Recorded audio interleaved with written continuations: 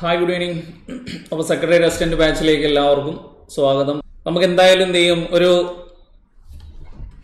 ഈ മാസം ഈ വർഷം അവസാനം ആകുമ്പോഴത്തേക്ക് നവംബർ ഡിസംബർ ആകുമ്പോഴത്തേക്ക് എന്തായാലും എന്ത് ചെയ്യും? ഈ പറയുന്ന സെക്രട്ടറി അസിസ്റ്റന്റിന്റെ നോട്ടിഫിക്കേഷൻ വരും. ആദ്യമേ എന്ത് ചെയ്യണം? ഒരു ഡിഗ്രി ലെവൽ എക്സാം ആണ്. അതുകൊണ്ട് തന്നെ നിങ്ങൾക്ക് തന്നെ അറിയാം. ഞാൻ പറഞ്ഞിട്ടൊന്നും വേണ്ട.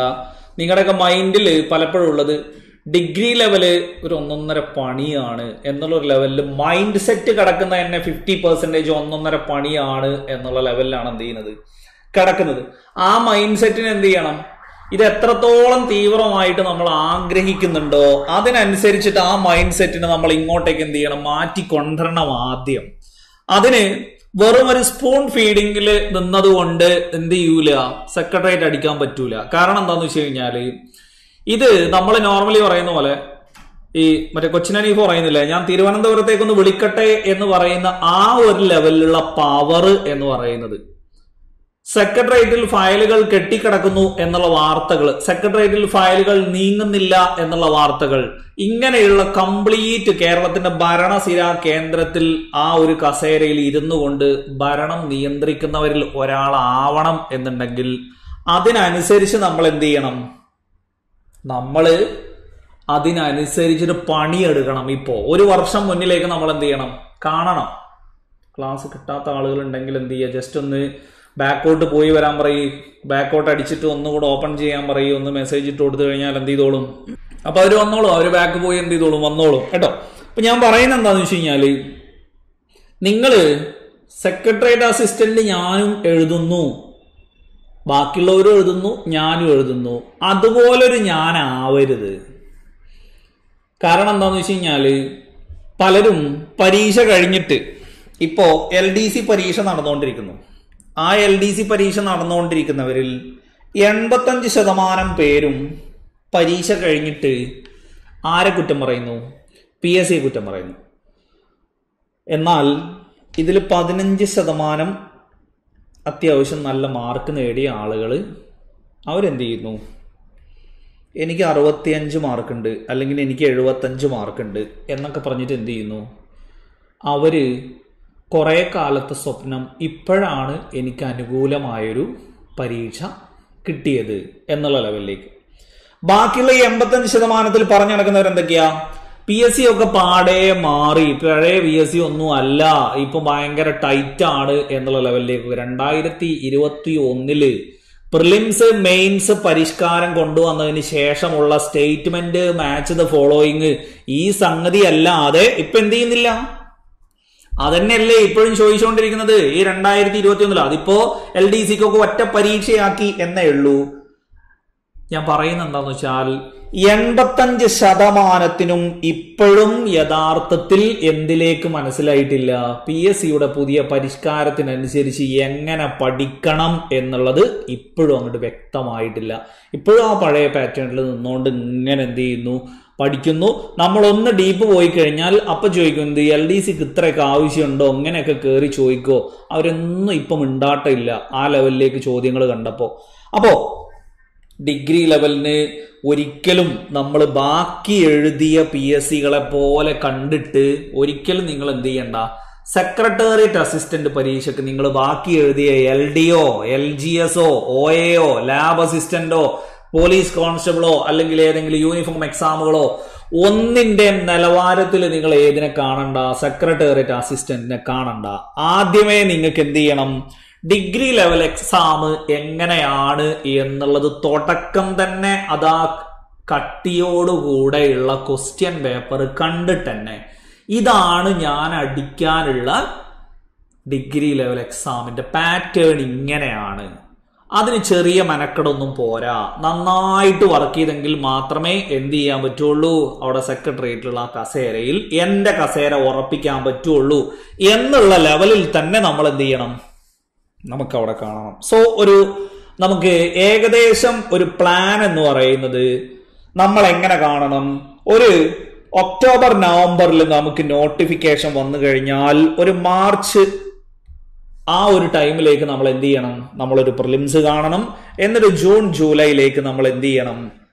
മെയിൻസും കാണുന്ന തരത്തിൽ നിങ്ങൾ എന്ത് ചെയ്തോ? ഒരുങ്ങിക്കോ. കാരണം സെക്രട്ടേറിയറ്റ് അസിസ്റ്റന്റ് പരീക്ഷയ്ക്ക് പ്രിലിംസും മെയിൻസും ഉണ്ട്. നിങ്ങൾക്ക് തന്നെ അറിയാം പ്രിലിംസും നല്ല ടൈറ്റ് ആയിരിക്കും. മെയിൻസും നല്ല ടൈറ്റ് ആയിരിക്കും. മെയിൻസിന് ചിലപ്പോൾ എന്ത് ചെയ്യും? സ്പെഷ്യൽ ടോപ്പിക്ക് ഇരുപത് മാർക്കിൽ നിന്ന് ചിലപ്പോൾ എക്സ്ട്രാ പേപ്പറൊക്കെ ആക്കിയിട്ടൊക്കെ കൊണ്ടുവരാനുള്ള സാധ്യതയൊക്കെ ഉണ്ട്. അതൊക്കെ നമ്മൾ ആദ്യമേ എന്ത് ചെയ്യണം? മുന്നിൽ കാണണം. പിന്നെയോ ഇംഗ്ലീഷിൽ ഉണ്ടാവും മറ്റേ സൈഡിൽ മലയാളത്തിലുണ്ടാവും. അപ്പോ ഏതാണോ നിങ്ങൾക്ക് കംഫേർട്ട് അത് മാക്സിമം ഇംഗ്ലീഷ് ആണെങ്കിൽ അത്രയും നല്ലത്. കാരണം എന്താന്ന് വെച്ച് കഴിഞ്ഞാൽ നമ്മൾ പഠിക്കുന്ന മലയാളമായിരിക്കില്ല പി എസ് സി ക്വസ്റ്റ്യൻ പേപ്പറിലെ മലയാളം എന്ന് പറയുന്നത്. കാരണം ഇവർ കൊടുക്കുന്ന ഈ ഇംഗ്ലീഷിന്റെ ഗൂഗിൾ ട്രാൻസ്ലേഷൻ എന്താണോ അത് തെറ്റുകൾ പോലും തിരുത്താതെ അങ്ങനെ തന്നെ വരുന്ന മലയാളമായിരിക്കും. ഏത്? ഇപ്പുറത്തുള്ള മലയാളം എന്ന് പറയുന്നത്. മുമ്പ് ദേശീയ അത്യഹിതത്തെ കുറിച്ച് പ്രതിപാദിക്കുന്ന ഭരണഘടനാ വകുപ്പാണ് എന്ന് പറഞ്ഞിട്ട് എന്ത് ചെയ്തിട്ടുണ്ടായിരുന്നു? കൊടുത്തിട്ടുണ്ടായിരുന്നു. ദേശീയ അത്യാഹിതം. എന്താണ് ഈ ദേശീയ അത്യാഹിതം? National emergency. കണ്ടോ? നാഷണൽ എമർജൻസി എന്നുള്ളത്. അപ്പൊ ഞാനും നിങ്ങളൊക്കെ മലയാളത്തിൽ ദേശീയ അടിയന്തരാവസ്ഥ എന്നൊക്കെ പഠിച്ചു പോയിട്ട് അവിടെ ചെല്ലുമ്പോൾ ദേശീയ അത്യഹിതത്തിന്റെ ആർട്ടിക്കിൾ എന്ന് പറഞ്ഞ് നമ്മളോട് ചോദിക്കുന്ന സമയത്ത് ദേശീയ അത്യഹിതോ? ഭരണഘടനയിൽ അങ്ങനെയൊക്കെ ഉണ്ടോ? എന്നുള്ള ലെവലിലേക്ക് നമ്മൾ എന്ത് ചെയ്യും? ഇത് ഏത് കുന്നംകുളം ഡിക്ഷണറി ആണ് എന്നുള്ളതൊന്നും തിരിയാതെ നമ്മൾ എന്ത് ചെയ്യും? നമുക്ക് ആ സമയത്ത് ചിലപ്പോൾ അല്ലെങ്കിലേ നമ്മൾ എന്ത് ചെയ്യുന്നതാ? നമ്മൾ ഈ പറയുന്ന ഒരു മൈൻഡിൽ നിൽക്കുന്ന ആളുകളാണ് അതായത് എങ്ങനെയെങ്കിലും ഒന്ന് തെറ്റാനുള്ള ചാൻസ് ഉണ്ടെങ്കിൽ അത് എന്ത് ചെയ്തിട്ടുണ്ടാവും? ഹൺഡ്രഡ് പെർസെന്റേജ് തെറ്റിച്ചിരിക്കും എന്ന് പറഞ്ഞിരിക്കുന്ന ആളുകളാണ് നമ്മൾ ഈ പറയുന്ന ഒന്നര മണിക്കൂറിൽ ഉണ്ടാവുക. അപ്പൊ അതുകൊണ്ട് ഇംഗ്ലീഷിലായിരിക്കും നോട്ട്സ് ഉണ്ടാവുക മലയാളത്തിൽ എക്സ്പ്ലനേഷൻ ഉണ്ടാവും. കേട്ടോ? അതാണ് ഇപ്പൊ ടീച്ചേഴ്സിനോട് എന്ത് ചെയ്തിട്ടുള്ളത് പറഞ്ഞിട്ടുള്ളത്. ഇംഗ്ലീഷിലായിരിക്കും നോട്ട്സ് ഉണ്ടാവുക. കാരണം എന്താന്ന് വെച്ച് കഴിഞ്ഞാൽ നമുക്ക് ഒരിക്കലും എന്ത് ചെയ്യാൻ പറ്റൂല? ഈ ഗൂഗിൾ ട്രാൻസ്ലേഷന്റെ മലയാളത്തിൽ നമുക്ക് അങ്ങനെ പഠിപ്പിക്കാൻ പറ്റൂല. കാരണം എന്താന്ന് വെച്ച് കഴിഞ്ഞാൽ നിങ്ങൾക്ക് തന്നെ അറിയാൻ പറ്റും എന്ത്? സർഫേസ് ടെൻഷൻ എന്നൊക്കെ കൊടുത്ത സമയത്ത് പി എസ് സി എന്ത് ചെയ്തു? ഉപരിതല വലിവ് എന്നൊക്കെ കൊടുത്തു. ഉപരിതല വലിവ് സർഫേസ് ടെൻഷൻ എന്നുള്ളത് നമുക്ക് പഠിപ്പിക്കുമ്പോൾ ഈ മലയാളത്തിൽ പഠിപ്പിക്കാൻ പറ്റുമോ ആരെങ്കിലും ഏതെങ്കിലും സയൻസിന്റെ ടീച്ചർ പഠിപ്പിക്കുവോ? സർഫേസ് ടെൻഷൻ എന്നുള്ളതിന് ഉപരിതല വലിവ് എന്ന് പറഞ്ഞ് പഠിപ്പിക്കുവോ? ഇല്ലല്ലോ.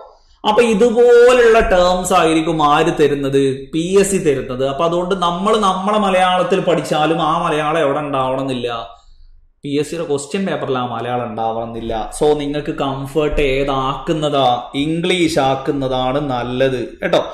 അപ്പൊ ഇംഗ്ലീഷിലായിരിക്കും നോട്ട് ഉണ്ടാവുക എക്സ്പ്ലനേഷൻ മലയാളത്തിൽ ഉണ്ടാവും ലെക്ചർ നോട്ട് അപ്പൊ നിങ്ങൾക്ക് മലയാളത്തിൽ എഴുതണമെങ്കിൽ എന്ത് ചെയ്യാം? ആ രീതിയിലേക്ക് എഴുതാം കേട്ടോ.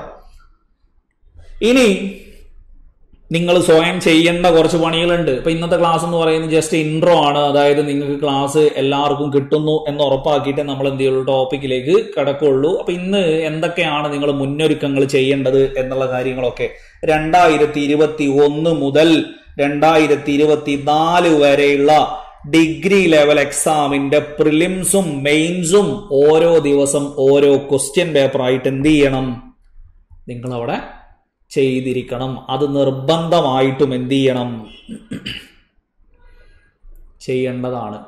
ഞങ്ങൾ പഠിച്ചു തുടങ്ങിയിട്ട് ആ ഏരിയയിൽ നിന്ന് ഏതൊക്കെ ചോദ്യം വന്നു എന്ന് നോക്കാൻ ചെയ്താൽ പോരെ? പോരാ. നിങ്ങൾ തുടങ്ങുന്നതിന് മുന്നേ തന്നെ എന്ത് ചെയ്യണം ഈ പറയുന്ന രണ്ടായിരത്തി ഇരുപത്തി ഒന്ന് മുതൽ ഇരുപത്തിനാല് വരെയുള്ള കംപ്ലീറ്റ് ക്വസ്റ്റ്യൻ പേപ്പറുകൾ നമുക്ക് അവൈലബിൾ ആണ്. അതിന്റെ ആൻസർ ക്യൂവും അവൈലബിൾ ആണ്. അപ്പൊ നമ്മൾ ഇങ്ങനെ ഒന്ന് നോക്കുക. നമ്മൾ നോക്കുമ്പോൾ അറിയാൻ പറ്റും എന്ത്? പി എസ് സി ഒക്കെ ഭയങ്കര നിലവാരമായിക്കണ് ഞാനൊക്കെ പറ്റ ലോക്കലായിക്കണ് എന്നുള്ളതൊക്കെ എവിടുന്ന് മനസ്സിലാവും? ഈ പറയുന്ന ക്വസ്റ്റ്യൻ പേപ്പർ നോക്കുമ്പോൾ നമുക്ക് മനസ്സിലാവും എന്നുള്ളത്. കേട്ടോ?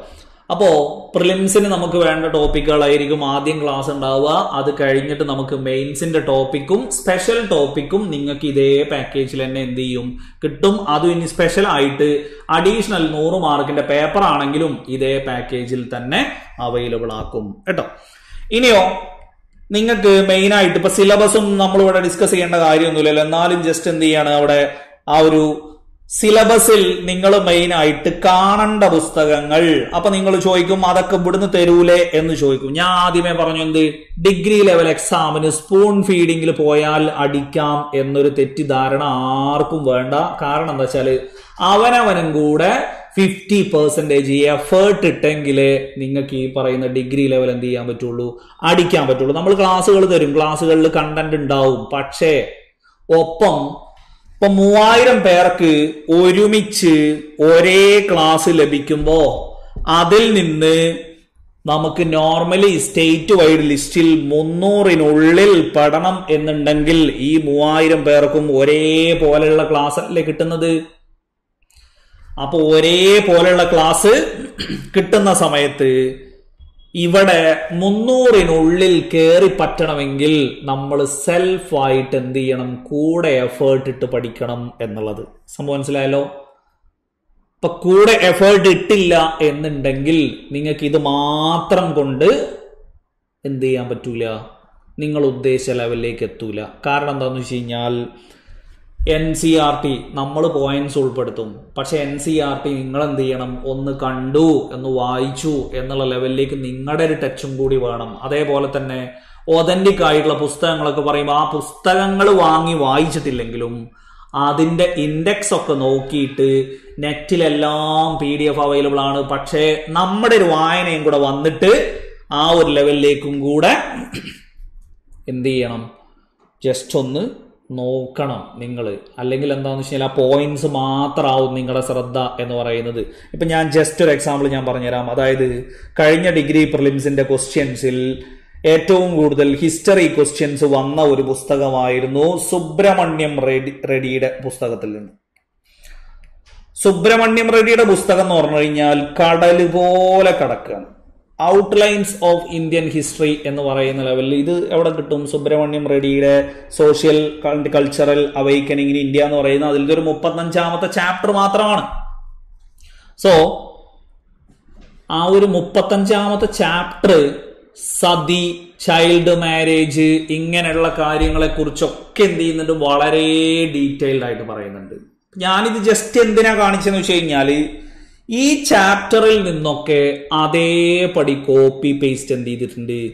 കോപ്പി പേസ്റ്റ് ചോദ്യങ്ങൾ കഴിഞ്ഞ ഒന്നാം ഘട്ടത്തിലും രണ്ടാം ഘട്ടത്തിലും മൂന്നാം ഘട്ടത്തിലും എന്ത് ചെയ്തിട്ടുണ്ട്? കോപ്പി പേസ്റ്റ് ചോദ്യങ്ങൾ വന്നിട്ടുണ്ട്. കേട്ടോ? അപ്പോ മെയിൻലി നിങ്ങൾ എന്ത് ചെയ്യണം? നിങ്ങൾ പഠിക്കുന്നതിന്റെ കൂടെ നിങ്ങൾക്ക് ക്ലാസ്സുകൾ കിട്ടും.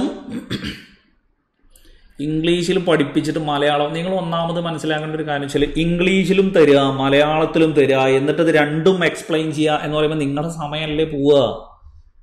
നമ്മൾ തൊട്ട് മുകളിൽ ഇംഗ്ലീഷും അതിന്റെ തൊട്ട് താഴെ മലയാളം എന്നുള്ള ലെവലിലായി കഴിഞ്ഞാൽ നിങ്ങൾക്ക് തന്നെ ഇഷ്ടം പോലെ എന്ത് ചെയ്യുക? സമയം പോകും. പിന്നെ ഇംഗ്ലീഷ് നോട്ട് നോക്കിയിട്ടേ നിങ്ങൾക്ക് കാര്യമുള്ളൂ. ഇപ്പൊ തന്നെ ഞാൻ കഴിഞ്ഞ ഒരു ക്വസ്റ്റ്യൻ പേപ്പറിൽ ഡിഗ്രി ലെവലിലെ ക്വസ്റ്റ്യൻ പേപ്പറിൽ ഇന്ത്യയിലെ ഭൗമ താപനിലയങ്ങളിൽ പെടാത്തതേത് എന്ന് പറഞ്ഞ ചോദ്യം. പക്ഷേ ആ ചോദ്യം ഇംഗ്ലീഷിൽ കറക്റ്റാ. ഇംഗ്ലീഷിൽ കറക്റ്റായിട്ട് എന്ത് ചെയ്തിട്ടുണ്ട്? കൊടുത്തിട്ടുണ്ട്. പക്ഷെ മലയാളം വായിച്ച ഒരാൾക്ക് അത് എന്ത് ചെയ്യാൻ പറ്റില്ല എഴുതാൻ പറ്റില്ല. എന്തുകൊണ്ടാ? താഴെ കൊടുത്തിരിക്കുന്നവയിൽ ഇന്ത്യയിലെ ഭൗമ താപനിലയല്ല എന്ന് മാത്രമേ കൊടുത്തിട്ടുള്ളൂ. അത് നിങ്ങൾ കണ്ടവർക്ക് എന്ത് ചെയ്യാൻ പറ്റും? അത് കണ്ടവർക്ക് അറിയാൻ പറ്റും. കേട്ടോ? അപ്പൊ ഈ പറയുന്ന മലയാളം വായിച്ച് നിങ്ങൾ അവിടെ ഉത്തരം എഴുതി കഴിഞ്ഞാൽ അതിന് താഴെ പി എസ് സി ഒരു ഡിസ്ക്ലൈമർ കൊടുത്തിട്ടുണ്ട്. ആ ഡിസ്ക്ലൈമറിൽ പറഞ്ഞിരിക്കുന്നത് എന്താണെന്നറിയോ? എന്തെങ്കിലും തർക്കമുണ്ടാവുകയാണെങ്കിൽ ചോദ്യത്തിന്റെ കാര്യത്തിൽ എന്തെങ്കിലും ഒരു പരാതി വരികയാണെങ്കിൽ ഇംഗ്ലീഷിൽ എന്താണോ പറഞ്ഞിരിക്കുന്നത് അതായിരിക്കും പരിഗണിക്കുക എന്ന് പി എസ് സി ആദ്യമേ എന്ത് ചെയ്തിട്ടുണ്ട്? അവിടെ കൊടുത്തിട്ടുണ്ട്. മനസ്സിലായല്ലോ? പ്രത്യേകിച്ച് ജോഗ്രഫൊക്കെ മലയാളം വായിച്ചു കഴിഞ്ഞാൽ നിങ്ങൾക്ക് എന്താ ഉദ്ദേശിച്ചത് എന്ന് പോലും മനസ്സിലാവാത്ത. അപ്പൊ ഇവിടെ പറയുന്നത് അപ്പൊ അതുകൊണ്ട് ഇംഗ്ലീഷ് നോക്കുന്നതാണ് ഏറ്റവും ബെറ്റർ എന്നുള്ളത്. ഞാൻ ആദ്യമേ ഇത് പറയുന്ന എന്തിനാന്ന് വെച്ച് കഴിഞ്ഞാൽ പ്രീവിയസ് ക്വസ്റ്റ്യൻ നിങ്ങൾക്ക് നോക്കുമ്പോൾ നിങ്ങൾ വായിക്കുമ്പോൾ നിങ്ങൾക്കത് മനസ്സിലാവും. നിങ്ങൾ എഴുതിയ ആളുകളോട് നിങ്ങൾ ചോദിച്ചു നോക്ക്. ഡിഗ്രി ലെവൽ എഴുതിയ ആളുകൾ തുടക്കക്കാരായിട്ടുള്ള ആളുകളൊക്കെ പറയും ഞങ്ങൾക്ക് ഇംഗ്ലീഷ് എന്ന് പറഞ്ഞാൽ തന്നെ കണ്ടാൽ തന്നെ എന്താണ്? ഇറിറ്റേഷൻ ആണ്. ഞങ്ങൾക്ക് മലയാളത്തിൽ വായിച്ചാലേ മനസ്സിലാവുള്ളൂ. ശരി നിങ്ങൾ ഉദ്ദേശിക്കുന്ന മലയാളം അല്ല ആര് കൊടുക്കുന്നത്? പി എസ് സി കൊടുക്കുന്നത്. അതാണ് പ്രശ്നം. ഗൂഗിൾ ട്രാൻസ്ലേറ്റർ ഇട്ടിട്ടാണ് എന്ത് ചെയ്യുന്നത്? കൊടുക്കുന്നത്. മലയാളത്തിൽ വായിച്ചു കഴിഞ്ഞാൽ നമ്മുടെ ഉള്ള കിളി എന്ത് ചെയ്യും? പോവും. നേരെ മറിച്ച് ഇംഗ്ലീഷിൽ നോക്കുമ്പോൾ അവിടെ വലിയ പ്രശ്നമില്ല. അതാണ് എന്ത് ചെയ്യുന്നത്? ജസ്റ്റ് അവിടെ നിങ്ങളോട് പറയുന്നത് മലയാളത്തിൽ നിങ്ങൾ പഠിച്ചാലും ആ മലയാളം അല്ല എന്ത് ചെയ്യുന്നത്? പി എസ് സി കൊടുക്കുന്നത് എന്നുള്ളത്. അപ്പൊ അത് നിങ്ങൾ ആദ്യം എന്ത് ചെയ്യുക? ആദ്യം നിങ്ങൾ ക്വസ്റ്റ്യൻ പേപ്പേഴ്സ് പ്രീവിയസ് ഒന്ന് രണ്ടെണ്ണം ഞാൻ എന്ത് ചെയ്തു തരാം. ഇന്നെ ഈ ക്ലാസ് കഴിഞ്ഞ ഉടനെ തന്നെ എന്ത് ചെയ്തു തരാം. നമ്മൾ ടെലഗ്രാം ഗ്രൂപ്പ് ഉണ്ടാവും. ടെലഗ്രാം ഗ്രൂപ്പിൽ എങ്ങനെ കയറുക എന്ന് വെച്ച് കഴിഞ്ഞാൽ നിങ്ങൾ നിങ്ങളുടെ കോഴ്സ് ഓപ്പൺ ചെയ്ത് കഴിഞ്ഞാൽ സെക്രട്ടേറിയറ്റ് അസിസ്റ്റന്റിന്റെ കോഴ്സ് ഓപ്പൺ ചെയ്ത് കഴിഞ്ഞാൽ അതിന് മുകളിൽ ഇങ്ങനെ അനൗൺസ്മെന്റ്സ് എന്ന് കാണാം. ആ അനൗൺസ്മെന്റ്സ് എന്നുള്ളടത്ത് നിങ്ങൾക്കായിട്ടുള്ള ടെലഗ്രാം ഗ്രൂപ്പിന്റെ ലിങ്ക് അവിടെ ഇടും. അപ്പൊ നിങ്ങൾ ആ ബാച്ച് തുറന്നു കഴിഞ്ഞാൽ മോളിലെ അനൗൺസ്മെന്റ്സ് തുറന്നാൽ നിങ്ങൾക്ക് എന്ത് ചെയ്യാൻ പറ്റും? ടെലഗ്രാം ഗ്രൂപ്പിൽ നിങ്ങൾക്ക് സ്വയം ആഡ് ആവാം. ആ ലിങ്ക് ഒന്നുകിൽ അവിടുന്ന് കോപ്പി ചെയ്യുക എന്നിട്ട് നേരെ ടെലഗ്രാമിൽ കൊണ്ട് പേസ്റ്റ് ചെയ്യുക. അപ്പൊ നിങ്ങൾക്ക് എന്ത് ചെയ്യാൻ പറ്റും? ഈ പറയുന്ന ടെലഗ്രാമിൽ ജോയിൻ ചെയ്യാൻ പറ്റും. കേട്ടോ ഞങ്ങളായിട്ട് ജോയിൻ ചെയ്യിപ്പിക്കൊന്നുമില്ല. നിങ്ങളായിട്ട് എന്ത് ചെയ്യാൻ പറ്റും? ആ ലിങ്കിൽ തൊട്ടാൽ അവിടെ ജോയിൻ ചെയ്യാം. അല്ലെങ്കിൽ ആ ലിങ്ക് അവിടുന്ന് കോപ്പി ചെയ്തിട്ട് ടെലഗ്രാമിൽ കൊടുത്ത് പേസ്റ്റ് ചെയ്ത് ജോയിൻ ചെയ്യാം എന്നുള്ളത്. കേട്ടോ. പിന്നെയോ? ഇവിടെ ആദ്യമേ പറഞ്ഞുതരാം. ലിങ്കിൽ ക്ലിക്ക് ചെയ്താൽ ഓപ്പൺ ആകാത്തവർക്ക് വേണ്ടിയിട്ടാണ് ഞാനൊരു ഓപ്ഷൻ അവിടെ പറഞ്ഞത് എന്ത് ആ ലിങ്ക് അവിടുന്ന് കോപ്പി ചെയ്യുക ടെലഗ്രാമിൽ കൊണ്ടുപോയി പേസ്റ്റ് ചെയ്യുക. ചിലവർക്ക് അങ്ങനെ ഉണ്ടാവാറുണ്ട്. അപ്പോൾ അവിടുന്ന് ലിങ്ക് കോപ്പി ചെയ്യുക ലിങ്ക് കോപ്പി ചെയ്തിട്ട് എന്ത് ചെയ്യുക ടെലഗ്രാമിൽ കൊണ്ടുപോയി പേസ്റ്റ് ചെയ്തിട്ട് നിങ്ങൾക്ക് അവിടെ കാണാവുന്നതാണ് എന്നുള്ളത്. സോ അനൗൺസ്മെന്റ്സിൽ നിങ്ങൾക്ക് ഈ പറയുന്ന ടെലഗ്രാമിൽ എന്ത് ചെയ്യാം? ജോയിൻ ചെയ്യാവുന്നതാണ്. ഇനിയോ അപ്പൊ ഇത് ഞാനൊരു പുസ്തകം പറഞ്ഞതാണ് ഏത്? ഡി സുബ്രഹ്മണ്യം റെഡിയുടെ ഇന്ത്യൻ ഹിസ്റ്ററി പഠിക്കാൻ വേണ്ടിയിട്ടൊക്കെ എന്ത് ചെയ്യാം?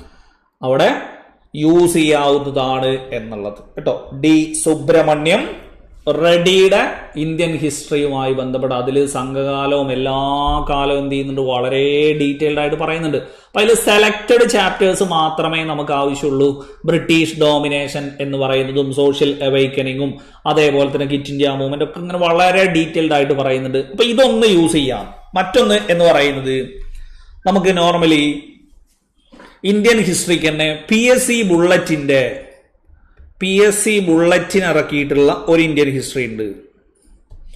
അതും യൂസ് ചെയ്യാം. അത്യാവശ്യം കുഴപ്പമില്ലാത്ത വിവരങ്ങൾ ഉണ്ടാക്കാൻ പറ്റുന്ന പുസ്തകം തന്നെയാണ് ഇത് പി എസ് സിയുടെ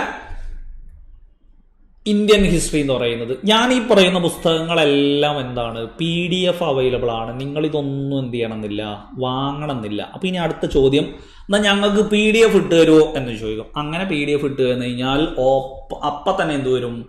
കോപ്പി റൈറ്റ് ഇഷ്യൂ വരും. നേരെ മറിച്ച് നിങ്ങൾ തന്നെ സെർച്ച് ചെയ്ത് ജസ്റ്റ് ടെലഗ്രാമിൽ സെർച്ച് ചെയ്താലും ഗൂഗിളിൽ സെർച്ച് ചെയ്താലും ഒക്കെ ഇതിന്റെയൊക്കെ പി ഡി എഫ് അവൈലബിൾ ആണ് നോട്ട്സ് അവൈലബിൾ ആണ് കിട്ടും. അപ്പൊ എന്ത് ചെയ്യാം? പി എസ് സി ബുള്ളറ്റിന്റെ ഇന്ത്യൻ ഹിസ്റ്ററി ഉണ്ട്. പി എസ് സി ബുള്ളറ്റിന്റെ തന്നെ കേരളം എന്ന് പറയുന്ന ഒരു പുസ്തകമുണ്ട് രജത ജൂബിലിക്കൊക്കെ പുറത്തിറക്കുന്ന ഒരു പുസ്തകമാണ് ഇത് ഈ പറയുന്ന കേരളം എന്ന് പറയുന്നത്. ആ കേരളത്തിലും ശ്രീധര മേനോന്റെ കേരള ചരിത്രം തന്നെയാണ് കൊടുത്തിരിക്കുന്നത്. സോ ഇന്ത്യൻ ഹിസ്റ്ററിക്ക് നിങ്ങൾക്ക് സുബ്രഹ്മണ്യം റെഡിയുടെ പുസ്തകം ഒന്ന് യൂസ് ചെയ്യാം. പി എസ് സി ബുള്ളറ്റിന്റെ ഇന്ത്യ ചരിത്രം യൂസ് ചെയ്യാം. അഗ്നിഹോത്രിയുടെ ഇന്ത്യൻ ഹിസ്റ്ററിയും യൂസ് ചെയ്യാം. സിവിൽ സർവീസുകാരും നെറ്റ് എക്സാം എഴുതുന്നവരും ഒക്കെ ഡിഗ്രി ലെവൽ എക്സാമിന് പറ്റുന്ന പുസ്തകമാണ് ഏത്? അഗ്നിഹോത്രിയുടെ ഇന്ത്യൻ ഹിസ്റ്ററി എന്ന് പറയുന്ന പുസ്തകവും. സോ ഇതെല്ലാം ഇന്ത്യൻ ഹിസ്റ്ററിക്കാണ്. അതിൽ മിഡീവൽ ഇന്ത്യ ഉണ്ട് മോഡേൺ ഇന്ത്യ ഉണ്ട്. ഇതിനൊക്കെ പറ്റിയ പുസ്തകങ്ങളാണ് ഈ പറഞ്ഞത് എന്നുള്ളത്. കേട്ടോ? ഇനിയോ? കേരള ഹിസ്റ്ററിക്ക് ഞാൻ പറഞ്ഞാണ് ഏത്? കേരള ഹിസ്റ്ററിക്ക് അന്നും ഇന്നും എന്നും ഒരേ ഒരു പുസ്തകമേ ഉള്ളൂ. അത് ശ്രീധരമേനോന്റെ കേരള ചരിത്രം എന്ന് പറയുന്ന പുസ്തകം. അപ്പൊ ശ്രീധര മേനോന്റെ കേരള ചരിത്രം എന്ന് പറയുന്നതും എന്ത് ചെയ്യാം? സ്പെക്ട്രം യൂസ് ചെയ്യുമ്പോൾ ഒരു പ്രശ്നം എന്താണെന്ന് വെച്ച് കഴിഞ്ഞാൽ സ്പെക്ട്രത്തിൽ ക്യാപ്സൂളുകളായിട്ടേ ഉള്ളൂ. ഇപ്പൊ മോഡേൺ ഇന്ത്യയുടെ സ്പെക്ട്രം ഉണ്ടല്ലോ. സ്പെക്ട്രത്തിന്റെ മോഡേൺ ഇന്ത്യ എന്ന് പറയുന്നത് അത്ര വാസ്റ്റ് അല്ല. അതിനേക്കാളും വാസ്റ്റാണ് ഏതെന്ന് പറയുന്നത്? ഈ പറയുന്ന സുബ്രഹ്മണ്യം റെഡിയുടെ ഇന്ത്യൻ ഹിസ്റ്ററി ഒക്കെ ആണെങ്കിൽ എന്താണ്? അത്യാവശ്യം വാസ്റ്റാണ് കാരണം സ്പെക്ട്രത്തിലൊന്നും ഇല്ലാത്ത കുറേ കാര്യങ്ങളൊക്കെയാണ് എന്ത് ചെയ്തത്. ഈ പറയുന്ന സോഷ്യൽ അവൈക്കനിങ്ങുമായി ബന്ധപ്പെട്ടും അതേപോലെ തന്നെ സ്വാമി വിവേകാനന്ദനുമായി ബന്ധപ്പെട്ടൊക്കെ വന്ന ചോദ്യങ്ങളൊക്കെ ഈ പറയുന്ന സുബ്രഹ്മണ്യം റെഡിയുടെ പുസ്തകത്തിലാണ് അത്രയും വാസ്റ്റായിട്ട് എന്ത് ചെയ്തിട്ടുള്ളത് കൊടുത്തിട്ടുള്ളത്. സോ ഞാൻ ആദ്യമേ പറഞ്ഞു എന്ത്? ചിലവർ പറയും ഇനി എന്തെന്നറിയോ? തുടക്കം തന്നെ കണ്ട് കിളി പോയി. ഞാൻ ഈ പുസ്തകങ്ങളൊന്നും എന്ത് ചെയ്തിട്ടില്ല ഈ ജന്മത്തിൽ കണ്ടിട്ടില്ല. ഇപ്പോൾ സെക്രട്ടറിയുടെ അസിസ്റ്റന്റിന് ചേരുകയും ചെയ്തു. ഈ ലെവലിലേക്കൊക്കെ എന്നെ കൊണ്ട് പഠിക്കാൻ പറ്റുമോ എന്നൊക്കെ തുടക്കത്തിൽ തന്നെ തോന്നുകയും ചെയ്തു. തുടക്കത്തിൽ തന്നെ പ്രശ്നമാണല്ലോ എന്നുള്ള ലെവലിലേക്കൊക്കെ തോന്നിയ ആളുകളോട് പറയാനുള്ളത് ഇത് പരീക്ഷ കഴിഞ്ഞിട്ട് ഈ തിരിച്ചറിവുണ്ടായിട്ട് കാര്യമില്ലല്ലോ. ഇത് എത്രത്തോളം എന്നുള്ളത് ആ ലെവലിൽ അറിഞ്ഞെങ്കിൽ തന്നെ എന്ത് ചെയ്യാൻ പറ്റുള്ളൂ? ഇത് ഇങ്ങനെ ഒരു സാധനമാണ്. സെക്രട്ടേറിയറ്റിലെ ജോലി കിട്ടണമെന്നുണ്ടെങ്കിൽ ഇങ്ങനെയൊക്കെയാണ് പണിയെടുക്കേണ്ടത്. എന്നുള്ള ലെവലിലേക്ക് അറിഞ്ഞു പഠിച്ചെങ്കിലേ നിങ്ങൾക്ക് മുന്നൂറിനുള്ളിൽ എന്ത് ചെയ്യാൻ പറ്റുള്ളൂ? അടിക്കാൻ പറ്റുള്ളൂ. കാരണം ഇത് ചില്ലറ ചില്ലറ പണിയല്ല. നിങ്ങളോട് ഞാൻ ആദ്യം തന്നെ പറഞ്ഞത് കേരളത്തിന് ഭരണം നിയന്ത്രിക്കുന്ന ആ സീറ്റിൽ ഇങ്ങനെ ഇരുന്ന് കറങ്ങി ഇങ്ങനെ ആസ്വദിച്ച് പണിയെടുക്കണം എന്നുണ്ടെങ്കിൽ അതിനിപ്പം എന്ത് ചെയ്യണം? ആ ലെവലിലേക്ക് പഠിച്ചേ പറ്റുള്ളൂ. നിങ്ങൾ കഴിഞ്ഞ രണ്ടായിരത്തി ഇരുപത്തി ഒന്ന് മുതലുള്ള ഏത് ഡിഗ്രി ലെവലിന്റെ ക്വസ്റ്റ്യൻ പേപ്പർ എടുത്തോ? വെറുതെ എന്ത് ചെയ്യൂല.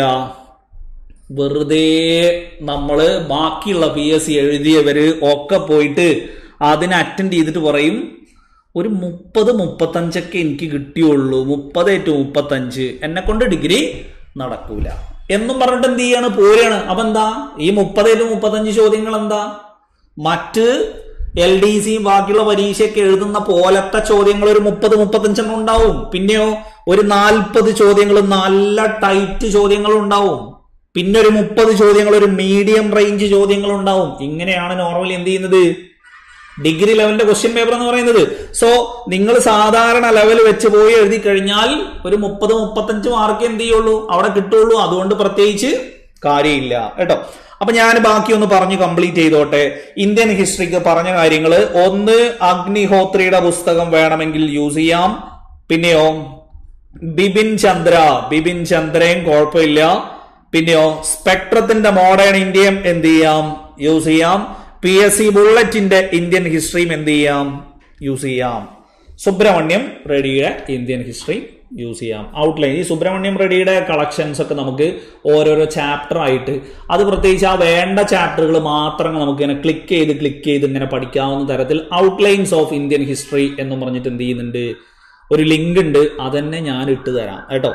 തിരക്ക് കൂട്ടല്ല? ഇന്നെ ഒക്കെ കൂടെ ഇട്ട് തന്നിട്ട് നാളെ തന്നെ നമ്മൾ സെക്രട്ടേറിയറ്റിലേക്ക് പോവല്ല. സോ നമുക്കിത് പതുക്കെ പതുക്കെ പതുക്കെ എന്ത് ചെയ്യണം?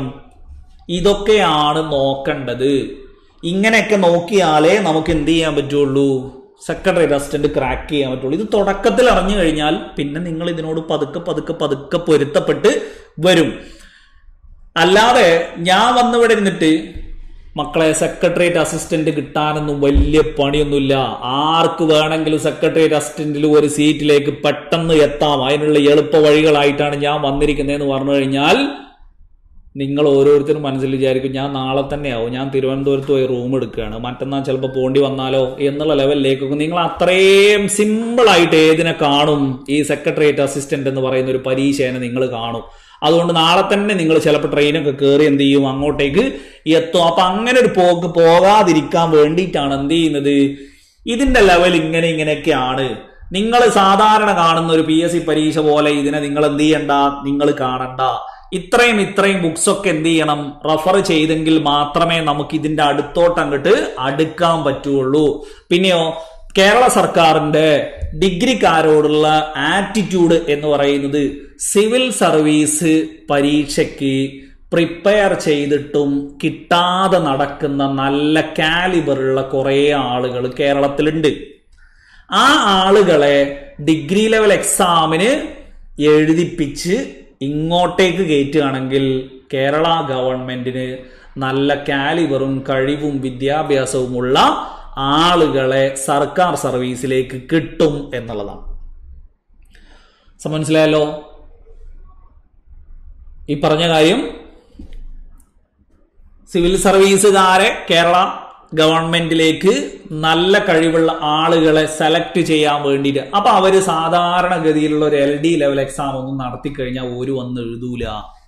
ഒരു വന്ന് എഴുതണമെങ്കിൽ സിവിൽ സർവീസിന്റെ റേഞ്ചിലുള്ള പരീക്ഷ ഇവിടെ കേരള പി എസ് സി നടത്തണം. അതാണ് രണ്ടായിരത്തി ഇരുപത്തി ഒന്ന് മുതൽ നമ്മൾ കണ്ടുകൊണ്ടിരിക്കുന്നത് സിവിൽ സർവീസുകാർ പ്രിപ്പയർ ചെയ്യുന്ന അതേ ട്രെൻഡിലുള്ള പുസ്തകങ്ങളും അതേ പ്രിപ്പറേഷനൊക്കെ ആയിട്ട് വരുന്ന ഒരുപാട് ആളുകൾ നിങ്ങൾ ഡിഗ്രിയുടെ പ്രിലിംസിന്റെ ഒക്കെ കഴിഞ്ഞിട്ട് നമ്മൾ അനാലിസിസ് ചെയ്യുന്ന സമയത്ത് ഈ ക്വസ്റ്റ്യൻ എനിക്ക് ഈസി ആയിരുന്നു. ഞാൻ സിവിൽ സർവീസ് ആസ്പിരന്റ് ആണ് എന്ന് പറഞ്ഞ് കമന്റ് ചെയ്തിരുന്ന ആളുകളൊക്കെ നിങ്ങൾ കണ്ടിട്ടുണ്ടാവും. സോ അതുകൊണ്ട് നമ്മൾ എന്ത് ചെയ്യണം? നമ്മൾ ഈ പറയുന്ന സിവിൽ സർവീസുകാർ വരുന്നു എന്ന് വിചാരിച്ചിട്ട് മറ്റേ രാജംബി ദേവിന്റെ ഒരു ട്രോൾ എപ്പോഴും നമ്മൾ ട്രോൾ ഇമേജുകളിൽ ഇങ്ങനെ എപ്പോഴും വന്നാട്ടെ എന്ന് പറഞ്ഞിട്ട് ഇങ്ങനെ നമ്മൾ ഇങ്ങനെ സീറ്റൊക്കെ എണീറ്റ് കൊടുത്ത് നിങ്ങൾ കയറിക്കോളൂ ഞങ്ങളെ കൊണ്ട് ഇത് താങ്ങൂല എന്ന് പറഞ്ഞ് വഴി വെട്ടിക്കൊടുക്കുന്ന ആളുകളായിട്ട് ഇരുന്ന് കഴിഞ്ഞാൽ വന്നവൻ ജോലിയും കൊണ്ട് അങ്ങോട്ട് പോകും എന്നാൽ എത്ര സിവിൽ സർവീസ് ആസ്പിരന്റ് ആണെങ്കിലും സിവിൽ സർവീസിന് എന്ത് പഠിക്കുന്നില്ല? കേരള ഹിസ്റ്ററിയോ കേരള ഭരണമോ അല്ലെങ്കിൽ കേരളവുമായി ബന്ധപ്പെട്ട കാര്യങ്ങൾ പഠിക്കുന്നില്ല. സോ കേരള ഹിസ്റ്ററി നിങ്ങൾക്ക് അഡ്വാന്റേജ് ആണ്. കേരളവുമായി ബന്ധപ്പെട്ട ബാക്കിയുള്ള കാര്യങ്ങളൊക്കെ എന്താണ്? അഡ്വാന്റേജ് ആണ്. സോ രണ്ട് കൂട്ടർക്കും ഫൈറ്റ് ചെയ്യാനുള്ള ഇടമുണ്ട് രണ്ട് കൂട്ടർക്കും കയറാനുള്ള ഇടവും ഉണ്ട്. പക്ഷെ ആര് വിചാരിക്കണം ആദ്യം? നമ്മൾ അണിഞ്ഞൊരുങ്ങി ഈ വക പുസ്തകങ്ങളൊക്കെ ഞാൻ എന്ത് ചെയ്യും എന്റെ ഈ ഏകദേശം എട്ടൊമ്പത് മാസത്തിൽ പ്രിപ്പറേഷനിൽ ഞാൻ ഇതെല്ലാം ഉൾപ്പെടുത്തും. ഇത് ഞാനിപ്പോ പറഞ്ഞത് ഇന്ത്യൻ ഹിസ്റ്ററി അല്ലേ? ഇനി കേരള ഹിസ്റ്ററിക്ക് ഞാൻ പറഞ്ഞു എന്ത്? കേരള ഹിസ്റ്ററിക്ക് നിങ്ങൾക്ക് ഏത് യൂസ് ചെയ്യാം? ശ്രീധര മേനോന്റെ കേരള ചരിത്രം എന്ന് പറയുന്ന പുസ്തകം യൂസ് ചെയ്യാം. ഇതിനൊക്കെ പുറമെ N C R T text ബുക്കുകളോട് ഒരു ഇറിറ്റേഷൻ മാറ്റിയിട്ട് എനിക്കും വായിച്ചാൽ കൊള്ളാം എന്നുള്ള ലെവലിലേക്ക് ഒരു ചാപ്റ്ററൊക്കെ എന്ത് ചെയ്യുക എടുത്ത് പരിചയപ്പെടുന്ന രീതിയിലൊന്ന് വായിക്കുക. ഒന്നാമത്തെ ദിവസം തന്നെ വായിക്കുമ്പോൾ എട്ട് ഒമ്പത് പത്ത് ക്ലാസ്സുകളിലെ സി ബി എസ് ഇ പുസ്തകങ്ങൾ. ഈ സി ബി എസ് ഇ പുസ്തകങ്ങൾ എടുത്ത് വായിക്കുമ്പോൾ നിങ്ങൾക്ക് തോന്നുക ഓ ഇത് ഇത് ഞാനും ഒരു നിലക്കും യോജിച്ചു പോവില്ല ചാപ്റ്ററിന്റെ പേര് കണ്ടപ്പോൾ തന്നെ എനിക്ക് എന്ത് ചെയ്തു? എന്റെ ഈ ചാപ് ചാപ്റ്റർ അടഞ്ഞ അധ്യായമായി എന്നുള്ള ലെവലിലേക്കൊക്കെ എന്ത് ചെയ്യും? ആദ്യ ദിവസമൊക്കെ തോന്നും. പക്ഷെ നിങ്ങൾ കണ്ടാൽ മതി എന്ത്? നമ്മൾ ഏത് ജോലിയാണെങ്കിലും അതിന്റെയൊക്കെ പുറകിലെന്ന് പറയുന്നത് നമുക്ക് നല്ല രീതിയിൽ എഫേർട്ട് നിങ്ങൾ എവിടെയൊക്കെ നിങ്ങൾ സങ്കടപ്പെട്ട് നിങ്ങളെല്ലാം സഹിച്ച് നിങ്ങൾ പഠിച്ചിട്ടുണ്ടോ? അതിന്റെയൊക്കെ റിസൾട്ട് നിങ്ങൾക്ക് നോർമലി എന്ത് ചെയ്യും? നോർമലി പിന്നെ കിട്ടും. ഇപ്പൊ പഠിക്കുന്നതിലും കൂടെ സുഖം കണ്ടെത്തണം എന്ന് വിചാരിച്ചാൽ നടക്കൂല. മനസ്സിലായല്ലോ? ഇപ്പോ പഠിക്കുന്നിടത്തും സുഖം വേണം എന്നുള്ള ലെവലിലേക്ക് എന്ത് ചെയ്യരുത്? നിങ്ങൾ ഒരിക്കലും വിചാരിക്കരുത്. കാരണം എന്താണെന്ന് വെച്ച് കഴിഞ്ഞാൽ നമുക്ക് ഇവിടെയും സുഖം അവിടെയും സുഖം അത് കഴിഞ്ഞിട്ടും സുഖം എല്ലായിടത്തും സുഖം നടക്കൂല. എവിടെയെങ്കിലുമൊക്കെ നമ്മൾ സാധാരണ പറയൂലേ ഒരു കയറ്റമുണ്ടോ ഒരിറക്കം ഉണ്ടാവും ഒരിറക്കം കഴിഞ്ഞാൽ പിന്നെയും എന്തുണ്ടാവും? കയറ്റം ഉണ്ടാവും ലൈഫ് അങ്ങനെയാണ്. ചില നഷ്ടങ്ങൾ ഉണ്ടാവാം ചില സങ്കടങ്ങൾ ഉണ്ടാവാം എല്ലാം ഉണ്ടാവാം. പക്ഷേ കുറെയൊക്കെ സഹിച്ച് നമ്മൾ എന്ത് ചെയ്യണം നിൽക്കണം കുറച്ചൊക്കെ എഫേർട്ട് ഇട്ട് നമ്മൾ എന്ത് ചെയ്യണം. പ്രിപ്പയർ ചെയ്യണം നിങ്ങൾക്ക് ക്ലാസ് കിട്ടും. ആ ക്ലാസ് കിട്ടുന്ന സമയത്ത് ഇതൊന്നും ഇന്നെ പോയിട്ട് എന്ത് ചെയ്യണ്ട ഇന്നെ പോയിട്ട് ആ ഒരു ലെവലിലേക്ക് എന്നൊന്നും പ്രിപ്പയർ ചെയ്ത് തുടങ്ങണം എന്നല്ല ഞാൻ പറയുന്നത്. ഇന്ത്യൻ ഹിസ്റ്ററി ആണെങ്കിലും ഇന്ത്യൻ ജോഗ്രഫി ആണെങ്കിലും ഒക്കെ എടുക്കുന്ന സമയത്ത് അതുമായി ബന്ധപ്പെട്ട ആ പാർട്ട് പോയിട്ട് ആ ക്ലാസ് കഴിഞ്ഞിട്ടൊന്ന് വായിക്കുക. അപ്പൊ കാര്യം രണ്ടുണ്ട്. രണ്ട് കാര്യം എന്താന്ന് വെച്ചാൽ ഒന്ന് അതെല്ലാം ക്ലാസ്സിൽ പറഞ്ഞതാണെങ്കിൽ അതിന്റെ നേർ റിവിഷൻ ആവും. മനസ്സിലായാലോ ഞാൻ ഇന്ന് എന്ത് ചെയ്യാണ്? മോഡേൺ ഇന്ത്യൻ ഹിസ്റ്ററിയിൽ രാജാറാം മോഹൻ റോയും ഈ പറയുന്ന ബാക്കിയുള്ള കാര്യങ്ങളൊക്കെയാണ് ഞാൻ എടുക്കുന്നതെങ്കിൽ അവിടെ ഞാൻ ഈ പറയുന്ന social and cultural awakening in India എന്ന് പറയുന്നതിലെ സതി ചൈൽഡ് മാരേജ് ഇങ്ങനെയുള്ള ബാക്കിയുള്ള അടിമത്വം നിരോധിച്ചത് ഈ പറയുന്ന കാര്യങ്ങളൊക്കെ അവിടെ പറഞ്ഞിട്ട് പിന്നെ നിങ്ങളിത് പോയി വായിക്കുമ്പോൾ നിങ്ങൾക്ക് റിവിഷനുമാണ് ഞാൻ പറഞ്ഞോ ഇല്ലയോ എന്നുള്ളത് നിങ്ങൾക്ക് ഉറപ്പ് ഉറപ്പുവരുത്തുകയും ചെയ്യാം. മനസ്സിലായല്ലോ? അല്ലാതെ ഇത് മൊത്തം ഒറ്റയടിക്ക് വായിച്ചു തീർക്കാനോ ഒന്നുമല്ല എന്നുള്ളതാണ് എന്ത് ചെയ്യുന്നത്? ജസ്റ്റ് അവിടെ സൂചിപ്പിച്ചത്. ഇനിയോ ഇന്ത്യൻ ഇക്കോണമിക്ക് നിങ്ങൾക്ക് ശങ്കർ ഗണേഷിന്റെ പുസ്തകമാണ് സജസ്റ്റ് ചെയ്യാനുള്ളത്. അത് സജസ്റ്റ് ചെയ്യുന്നതിന് മുന്നേ പ്ലസ് ടുവിന്റെ എക്കണോമിക്സ് ആദ്യം എന്ത് ചെയ്തിരിക്കണം? നിങ്ങളൊന്ന് വായിച്ച് ഒരു ലെവൽ ഉണ്ടാക്കിക്കോണം. അതൊക്കെ ക്ലാസ്സിൽ എന്ത് ചെയ്യും? ക്ലാസ്സിൽ ആൾറെഡി ഈ സാധനങ്ങളൊക്കെ എടുക്കും. പക്ഷെ എന്താന്ന് വെച്ച് കഴിഞ്ഞാൽ പ്ലസ് ടുവിന്റെ എക്കണോമിക്സ് ഒക്കെ നമ്മളൊരു വായന വായിച്ചിട്ട് ഇല്ല എങ്കിൽ നമുക്ക് ഒരിക്കലും ഈ പറയുന്ന ഒരു ടച്ച് ഉണ്ടാവില്ല പിന്നെ വേൾഡ് ഹിസ്റ്ററി വേൾഡ് ഹിസ്റ്ററിക്കാണ് കൃഷ്ണ റെഡിയുടെ പുസ്തകം കുറച്ചും കൂടെ ബെറ്റർ കേട്ടോ? ഇന്ത്യൻ ഹിസ്റ്ററിക്ക് ഞാൻ ഈ പറഞ്ഞ ബാക്കിയുള്ളതൊക്കെ നോക്കാം. വേൾഡ് ഹിസ്റ്ററിക്ക് കുഴപ്പമില്ലാതെ ഈ പറയുന്ന കൃഷ്ണ റെഡിയുടെ പുസ്തകമൊക്കെ നോക്കാം. പക്ഷേ വേൾഡ് ഹിസ്റ്ററി നിങ്ങൾ കൃഷ്ണ റെഡിയിലേക്കോ അല്ലെങ്കിൽ ബാക്കിയുള്ളവരിലേക്കോ ഒക്കെ പോകുന്നതിന് മുന്നേ ഒമ്പതാം ക്ലാസ്സിലെ ഒമ്പതാം ക്ലാസ്സിൽ world history C B S E പാഠപുസ്തകത്തിൽ നല്ല റേഞ്ചിൽ എന്ത് ചെയ്യുന്നുണ്ട്? നല്ല റേഞ്ചിൽ പറയുന്നുണ്ട്. രണ്ടായിരത്തി ഇരുപത്തി ഒന്നിൽ. ഡിഗ്രി പ്രിലിംസിന്റെ ഒരു ക്വസ്റ്റ്യൻ പേപ്പറിൽ Sugar Act next three doctrine പിന്നെ Green Ribbon Club Pride's Purge Ten Days That Shook the World ഈ സാധനങ്ങളൊക്കെ എവിടുന്ന് വന്നതാ? സി ബി എസ് സിയുടെ പാഠപുസ്തകത്തിൽ ആൾറെഡി പറയുന്ന കാര്യങ്ങളാണ് ഇതൊക്കെ. ത്രീ ഡോക്ടർസ് എന്ന് പറഞ്ഞാൽ സന്യാസന്റെ മൂന്ന് ആശയങ്ങൾ ഗ്രീൻ റിബൺ ക്ലബ്ബ് പ്രൈഡ് സ്പെർജും ഇംഗ്ലീഷ് വിപ്ലവവുമായി ബന്ധപ്പെട്ട് ഒലിവർ ക്രോംവെൽ പാർലമെന്റിലേക്ക്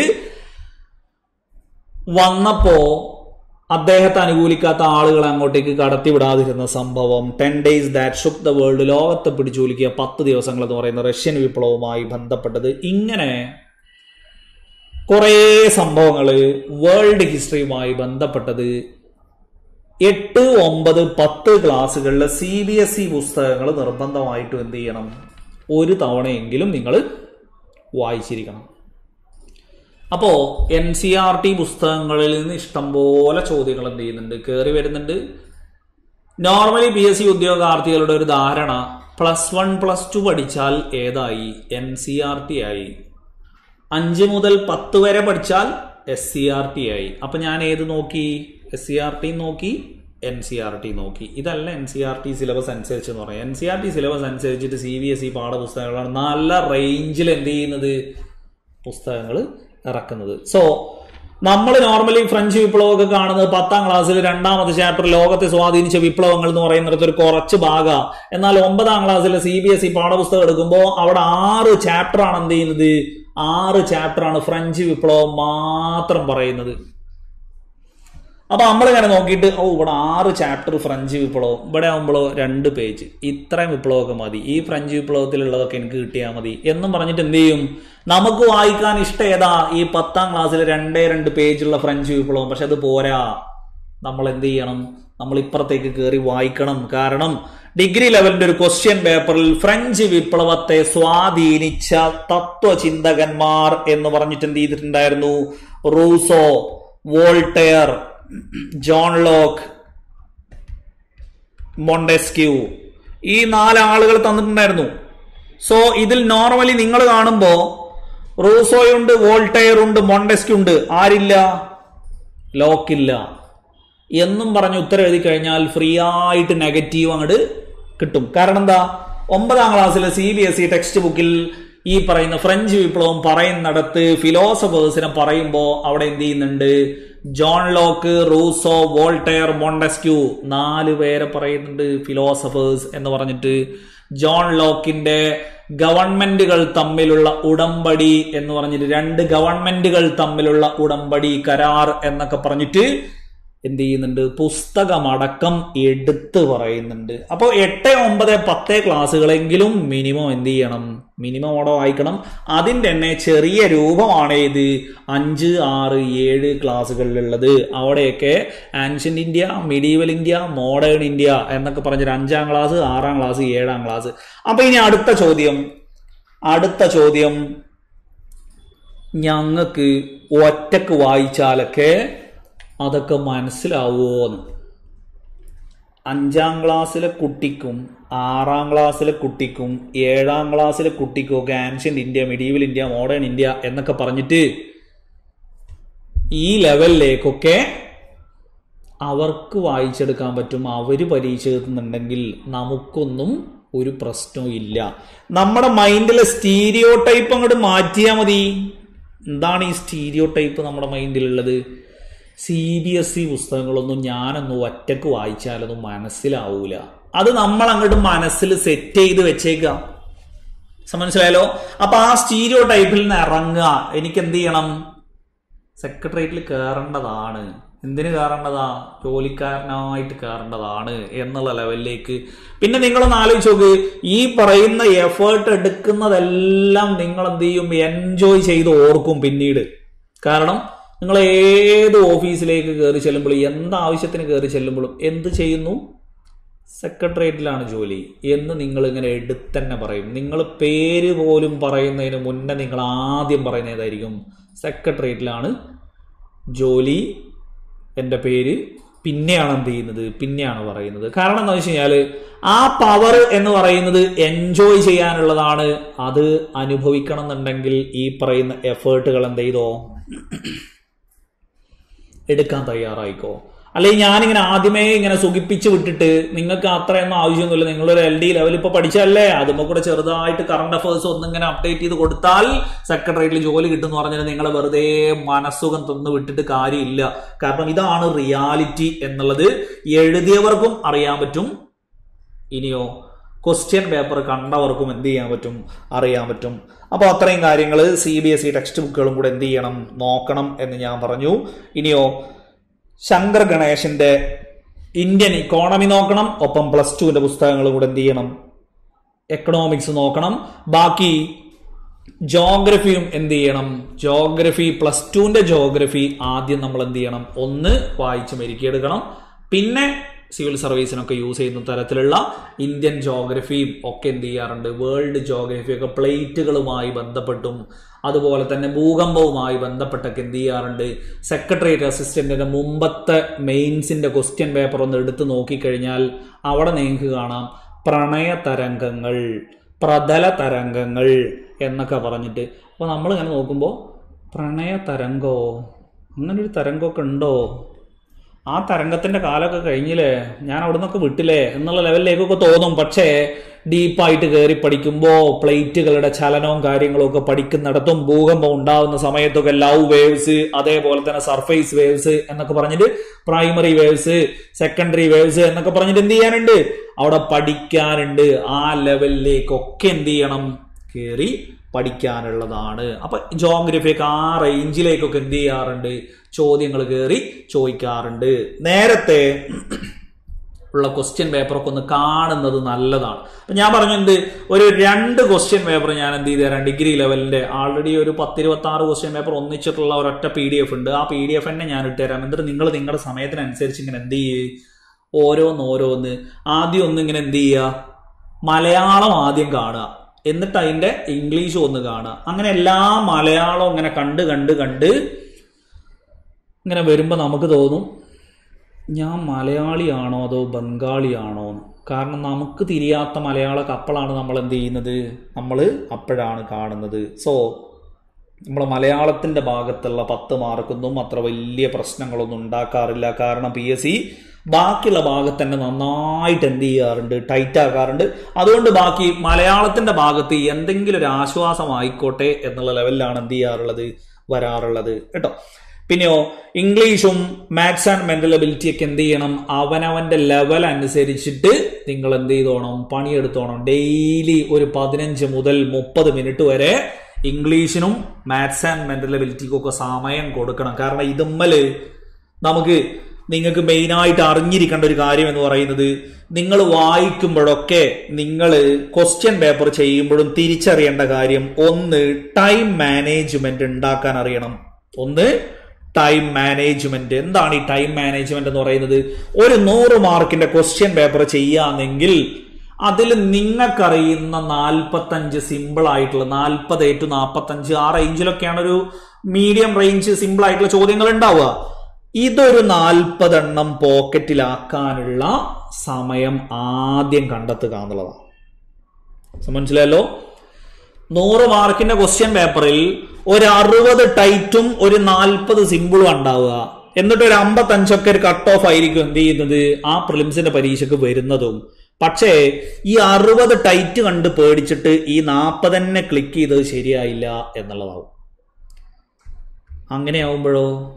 അങ്ങനെയാവുമ്പോൾ നമ്മുടെ മാർക്ക് ഏതിൽ പെടും? നമ്മളെ മാർക്ക് മുപ്പത്തി അഞ്ച് ടു നാൽപ്പത്തി അഞ്ചായിരിക്കും അതായത് കട്ട് ഓഫിന് ഒരു പത്ത് മാർക്ക് അകലെയായിരിക്കും ഉണ്ടാവുക എന്നുള്ളത്. അപ്പം അതുകൊണ്ട് ഞാൻ പറയുന്നത് നിങ്ങൾ ഇനി എഴുതുന്ന ഡിഗ്രി ലെവലിന്റെ പ്രീവിയസ് ക്വസ്റ്റ്യൻ പേപ്പർ ഒക്കെ വർക്കൗട്ട് ചെയ്യുമ്പോൾ ഒന്നാമത്തെ ചോദ്യം നിങ്ങൾ വായിച്ചു. മലബാറിലെ ജോയിന്റ് കമ്മീഷണർമാരുടെ റിപ്പോർട്ട് ഞാൻ കേട്ടിട്ട് പോലും ഇല്ല.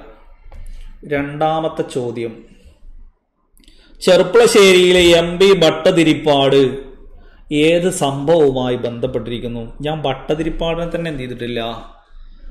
കേട്ടിട്ടില്ല. ഭട്ടതിരിപ്പാടാണോ? നമ്പൂതിരിപ്പാടാണോ എന്ന് എനിക്ക് അറിഞ്ഞുകൂടാ അവിടെ വിട്ടു. ഒമ്പതാമത്തെ ചോദ്യം എത്തിയപ്പോഴാണ് എന്ത് ചെയ്യുന്നത്? എൻ ഡബ്ല്യു ത്രീ കണക്ട് ചെയ്യുന്ന സ്ഥലങ്ങൾ. ഔ സമാധാനം അത് കിട്ടി. ഇങ്ങനെ ഒമ്പതാമത്തെ എഴുതി. പതിനാറാമത്തെ എഴുതി പതിനെട്ടാമത്തെ എഴുതി ഇരുപത്തിമൂന്നാമത്തെ എഴുതി ഇരുപത്തിയാറാമത്തെ എഴുതി ഇരുപത്തെട്ടാമത്തെ എഴുതി മുപ്പത്തി ഒന്ന് എഴുതി മുപ്പത്തിനാല് എഴുതി ഇങ്ങനെ സെലക്ട് ചെയ്ത് സെലക്ട് ചെയ്ത് സെലക്ട് ചെയ്ത് ആദ്യത്തെ മുക്കാ മണിക്കൂറിനുള്ളിൽ ആ ക്വസ്റ്റ്യൻ പേപ്പറിലെ ഒരു നാൽപ്പതെണ്ണം സിമ്പിൾ ഉണ്ടെങ്കിൽ അത് പോക്കറ്റിലാക്കാൻ പറ്റണം. മനസ്സിലായല്ലോ? ഒ എം ആറിൽ പരീക്ഷ എഴുതിയിട്ട് ഈ നൂറെണ്ണം ഇങ്ങനെ ഓടിച്ചു നോക്കുന്നതിന്റെ ഇടയിൽ നിങ്ങൾക്കറിയുന്ന നാൽപ്പതെണ്ണം വേഗം പോക്കറ്റിലാക്കാൻ പറ്റണം. അതിന്റെ ഇടയിൽ നമ്മൾ എന്ത് ചെയ്യണം? ടൈറ്റുള്ള സ്റ്റേറ്റ്മെന്റ് കാര്യങ്ങളൊക്കെ നമ്മൾ എന്ത് ചെയ്യണം? ഞാൻ ആദ്യം സിമ്പിൾ ഉള്ളതൊക്കെ പോക്കറ്റിലാക്കി വരട്ടെ. എന്നിട്ട് ഞാൻ എന്ത് ചെയ്യാം? അടുത്ത മുക്കാ മണിക്കൂറിൽ നിന്റെ അടുത്തേക്ക് വരാം എന്ന് പറഞ്ഞിട്ട് പിന്നെ നമ്മൾ എന്ത് ചെയ്യണം? ഈ നാൽപ്പതെണ്ണം ഏകദേശം സേഫ് ആക്കി പോക്കറ്റിലാക്കി വെച്ചിട്ട് എങ്ങോട്ടേക്ക് വരണം? സ്റ്റേറ്റ്മെന്റ് ചോദ്യങ്ങൾ വായിക്കാനുള്ള തയ്യാറെടുപ്പിൽ വരുമ്പോൾ വലിയ അറിവൊന്നുള്ള ആളൊന്നും അല്ല ഞാൻ എന്നാലും ഒരു രണ്ട് തവണ വായിക്കുമ്പോൾ ഒരു പത്ത് പതിനഞ്ചെണ്ണോ ഇരുപതെണ്ണോ കിട്ടിയാൽ അത്രയും ആയില്ലേ? എന്നുള്ള ലെവലിലേക്ക് വന്ന് വളരെ ശ്രദ്ധയോടുകൂടെ സ്റ്റേറ്റ്മെന്റ് വായിക്കുമ്പോൾ ഒന്നാമത്തെ സ്റ്റേറ്റ്മെന്റ് വായിച്ചു. അതെനിക്കറിയാം അത് ശരിയാണ്. നേരെ ഓപ്ഷനിലേക്ക് പോകുന്നു. എ ബി സി ഡി നാല് ഓപ്ഷനിൽ. ഒന്ന് ശരി എന്ന് പറയുന്ന കൂട്ടത്തിൽ ആകെ എത്ര ഉള്ളൂ? എയും സിയും മാത്രമേ ഉള്ളൂ. ഒന്ന് ശരി എന്ന് പറയുന്നത്. സ്പോട്ടിൽ നിങ്ങൾക്ക് ബിയും കട്ട് ചെയ്യാം ഡിയും കട്ട് ചെയ്യാം. മനസ്സിലായല്ലോ?